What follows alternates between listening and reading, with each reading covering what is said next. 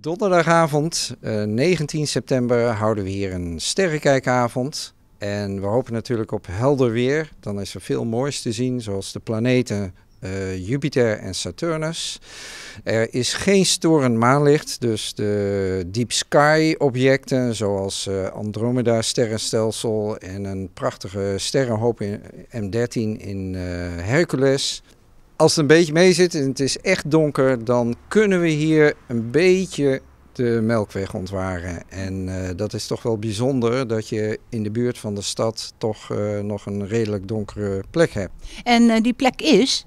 Noordikslaan 47. Jij bent dus lid van Astrona. Jij bent dus ja, van Astronomie Onderwijs Almelo. En wat doen jullie eigenlijk met die leerlingen onderwijs? Ja, het uh, onderwijs is de laatste jaren misschien een klein beetje op de achtergrond uh, gekomen, omdat we meer ons oriënteren op sterren kijken. Maar dat doen we ook wel voor leerlingen. Zo is er 21 november een sterrenkijkavond speciaal voor kinderen. En uh, hier tegenover in de straat is uh, een planetenpad. En uh, daar wordt ook gebruik van gemaakt door scholen. En wij begeleiden ook wel leerkrachten, leerlingen met, dat, met die wandeling langs, langs de planeten.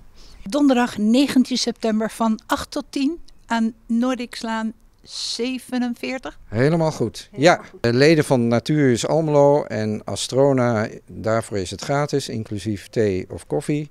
En uh, anderen betalen 3 euro. Maar daar zit ook thee en koffie in. Zeker, ja.